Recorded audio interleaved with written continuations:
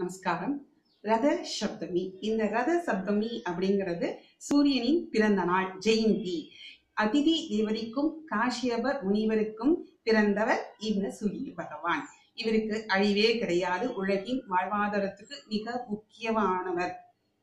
பயிர்கள் செழிக்கணும் மனிதர் உயிர் வாழணும் எல்லாத்துக்கும் சூரிய ஒளி மிக முக்கியமானது. அதனால தான் பெருமாளுக்கு அடுத்தபடியாக சூரிய நாராயணன் அப்படின்னு இவருக்கு பெயர். இந்த சூரிய நாராயணரான கோவில் எங்க இருக்கு? சூரியனார் கோவில். இங்க கும்பகோணம் பக்கத்துல இருக்கு. நம்ம எல்லாருக்குமே தெரியும். அங்கேயும் மிக சிறப்பாக இந்த ரத சப்தமி பூஜை கொண்டாடப்படுகிறது.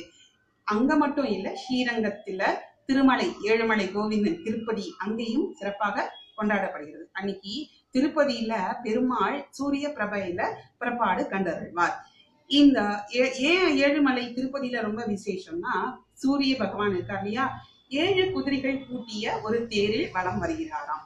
அது யாரு ஓட்டுறா? அந்த தேரை அதாவது தேர்னா ரதம். அந்த தேரை யார் ஓட்டுறா அப்படின்னா அருணன். அவருக்கு இரண்டு கால்கள் கிடையாது. அந்த தேர்ல ஒரு சக்கரம் தான் இருக்கும். இப்படி போறவர் தட்சிணாயனம் முடிஞ்சு அப்படியே யூ டர்ன் எடுத்து வரனால் நாள் தான் இந்த ரத சப்தமி அப்படின்னு சொல்லப்படுகிறது. இதுக்கப்புறம் ஆறு நாட்கள்.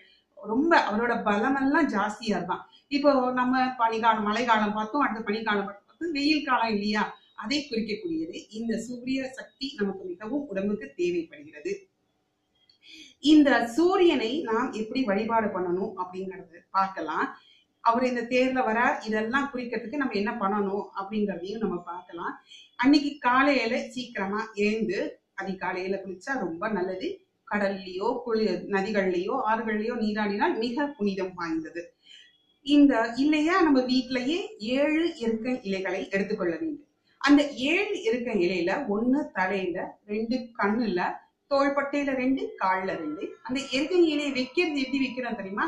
அச்சதை போட்டு பெண்களாக இருந்தால் மஞ்சள் சேர்த்துக்கணும். சேர்த்து இந்த மேல நரம்பு பகுதி மேல இருக்கணும் உள்ளுக்குள்ள வழவழப்பான பகுதி. இதெல்லாம் எதுக்கு பண்றோம்? இதெல்லாம் என்ன பண்ண போறது அப்படின்னு கேட்டாக்கா சயின்டிபிக்கா இதுக்கு ரீசன் இருக்கு. இப்போ கரண்ட் போறது நம்ம அதை பாக்குறோமா ஆனா அது ஒரு காப்பர் கம்பியில தான் போகுது. அந்த மாதிரி தான் இதுவும்.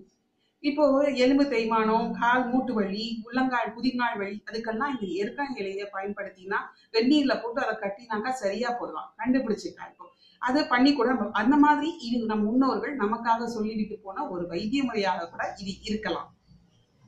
இந்த மாதிரி ஒவ்வொன்றுக்கும் ஒவ்வொரு காரண காரியங்களை நம் முன்னோர்கள் நமக்கு வைத்துவிட்டு செஞ்சிருக்கிறார்கள் இந்த சூரியன் ஒரு ராசியிலேருந்து மற்றொரு ராசிக்கு போற அன்னைக்கு தான் என்னது மாசப்பரப்பு இந்த சூரிய பூஜை போது காத்தால குளிச்சாச்சு. அதுக்கப்புறம் என்ன பண்ணணும் அப்படின்னா வாசல்ல பெருக்கி முழுகி செம்மண் கோலம் இடணும். எப்படி? ரதம் வரையணும். ஏன்னா அவர் தேர்ல போறாரு இல்லையா? யூ டர்ன் எடுக்கிறாரு இல்லையா அன்னைக்கு தான் அதனால ஒத்த சக்கரம் போட்டு நம்ம கொடி மேல கொடி வரைஞ்சு சைடெல்லாம் கொடி வரைஞ்சு எப்படி ஒரு தேர் அழகா போகுமோ அந்த மாதிரி வரைஞ்சு இதுக்கு மஞ்சள் குங்குமம் வச்சு பூ போட்டு அதை அழகாக பூஜை செஞ்சு என்ன சொல்லணும்? நிறைய ஸ்லோகங்கள் இருக்கு. சப்தஸ்லேவி ஸ்லோகம் சப்த தேவி ஸ்லோகம் இருக்கு. சூ- சூரிய தாயத்ரி இருக்கு. இருந்தாலும் எல்லாத விட மிக எளிதாக ஓம் நமோ ஆதித்யாய நமக அது சொன்னாலே போதும். இத சொல்லி சக்கரை பொங்கல் உளுந்து வடை நம்ம அன்னைக்கு அம்சப்படணும். அதாவது நெய்வேத்தியம் பண்ணி நம்ம அன்னைக்கு சாப்பிடணும். சரி இந்த பூஜை எல்லாம் இருந்தா என்ன பலன் அப்படின்னு கேட்கலாம். என்ன பலனா? அறிந்தும் அறியாமலும் செய்த பாவங்கள் நீங்கிவிடும். நான்லாம் தப்பே பண்ணல நான் பாவமே பண்ணல அப்படி இல்ல.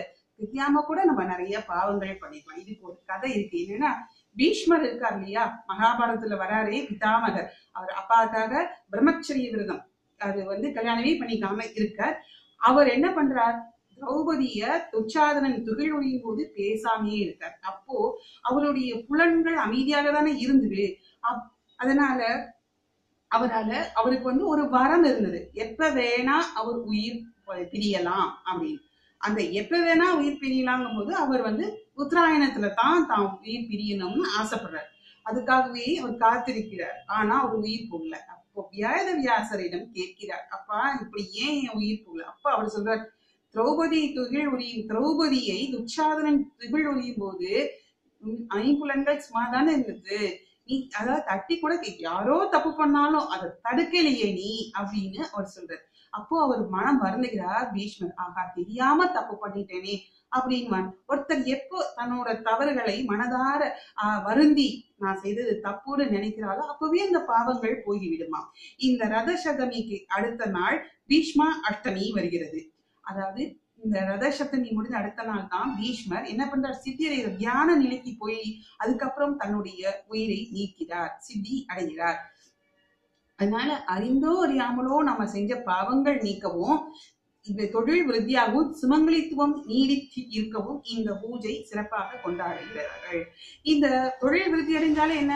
எல்லா சௌபாகியமும் நமக்கு வந்துரும் இல்லையா? அதனால முன்னோர்கள் சொல்லி சென்று விட்டபடி நாம் பூஜைகள் அனைத்தையும் சிறப்பாக செய்து அவர்கள் வழி நடந்து வாழ்வில் முன்னேறுவோம். இருள் நீங்கி பகலவன் மொழி பெற்று பகலவன் அருள் பெற்று நாம் வாழ்வில் முன்னேற பிரார்த்திக்கிறேன். நன்றி.